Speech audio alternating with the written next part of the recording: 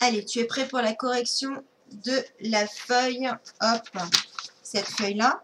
Je vais te montrer donc ce que ça donne quand tu as tracé les traits. Mais je vais t'expliquer un petit peu plus aussi.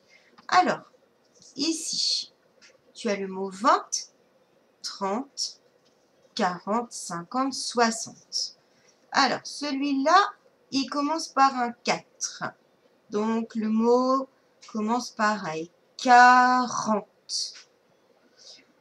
Ensuite, celui-là, si tu ne sais plus comment il s'appelle, tu sais lire le premier chiffre de ce nom, c'est le 6. Donc, ça commence par 60. Très bien. Ensuite, celui-là, c'est 30 comme 3. D'ailleurs, on le voit le 3. 50. Ça commence par un 5 que l'on voit chez les dizaines.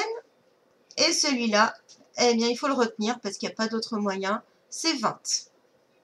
D'accord? Voilà. Et tu as terminé. Youpi Allez, à demain Non, pas demain. Non, non, non, non, non, non. Demain, on est mercredi. Tu peux te reposer, tu peux euh, faire euh, des dessins, tu peux regarder la télé avec l'autorisation de papa-maman. Euh, tu peux aller sur le site de la Lilo ou bien sur Khan Academy pour les mathématiques si tu veux vraiment travailler.